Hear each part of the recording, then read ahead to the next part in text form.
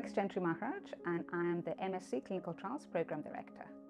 The program is aiming to equip you to become a clinical trialist or help you with your career working in clinical trials. The MSc Clinical Trials program is delivered online. Uh, it's a distance learning program.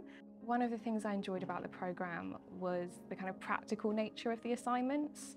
You're not just learning the theory, um, you're thinking about how you would practically apply them to a real life clinical trial scenario. Um, so for example, if you were working on a trial um, which was struggling to recruit patients, how would you recruit those specific patients to the trial? How would you encourage them to join the trial? It was like problem solving activities like that are things that I apply in my job now as a data manager.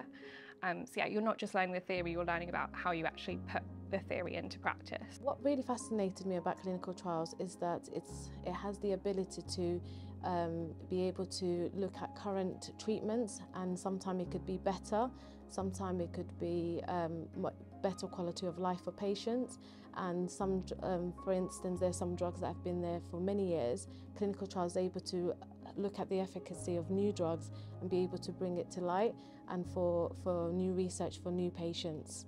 It will give you the skills to set up clinical trials that are relevant to your local population, regional population, and answer important questions in that population. But having the skills and having the training, how best to do this, all the way from your research idea to the analysis, reporting, and informing the guidelines wherever they may be.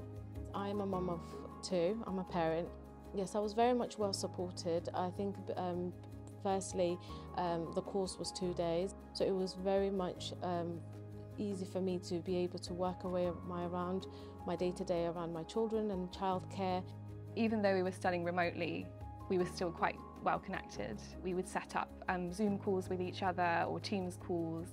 And I think the skills I learned on the course of being able to communicate really complex scientific information to a lay audience, so to the, the public, to patients, um, and that's something I use in my day-to-day -day job as well.